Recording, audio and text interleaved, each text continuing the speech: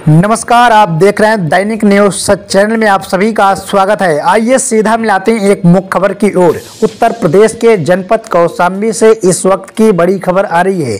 आपको बता दें कि कौशाम्बी में पच्चीस हज़ार के वांछित अपराधी रईस की पुलिस से हुई मुठभेड़ में। करारी पुलिस और यशोजी प्रभारी सिद्धार्थ सिंह टीम को मिली बड़ी कामयाबी।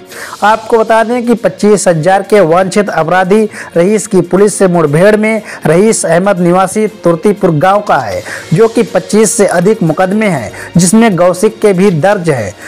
कई मुकदमे थाना करारी का, हिस्ट्री सीटर इकहत्तर ए, जो कि थाना चरवा का है। शामपुर डेरा के पास छुपा हुआ था रही सूचना पर थाना करारी पुलिस और यशोजी टीम के द्वारा उसको पकड़ने के लिए कई घेराबंदी की। पुलिस को देखते ही उसने भागने का प्रयास किया तथा पुलिस पर किया गया फायर। जवाबी कार्रवाई में पुलिस के द्वारा आत्मसुरक्षा में किया गया था फायर। रईस के दाहिने पैर में लगी गोली। घायल को जिला अस्पताल में कराया गया भर्ती। रईस के पास से एक अदद 315 बोर का तमंचा और दो ज़िंदा कारतूस और अदद खोखा कारतूस, एक अदद मोटरसाइकिल हीरो स्प्लेंडर हुई बरामद। ब्यूरो रिपोर्ट, दैनिक न्यूज़ सच। देखिए, थाना चरवा से पशु चोरी और पशु तस्करी में वांछित पच्चीस हज़ार का इनामी, जो मूलतः करारी थाना क्षेत्र का रहने वाला है और वहाँ का प्रचलित दुराचारी है। आज हिसामपुर डेरे के पास जो एसओजी टीम और करारी थाने की टीम गई थी गिरफ्तारी के लिए, उसके साथ हुई मुठभेड़ में उसे गोली लगी है, घायल हुआ है।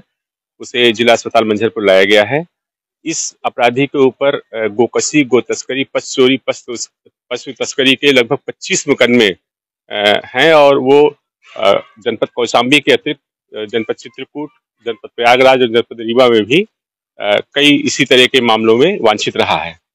फ़िलहाल उसके पास से एक मोटरसाइकिल और 315 बोर का तमंचा खाली और खोखा कारतूस काफ़ी मात्रा में बरामद हुआ है।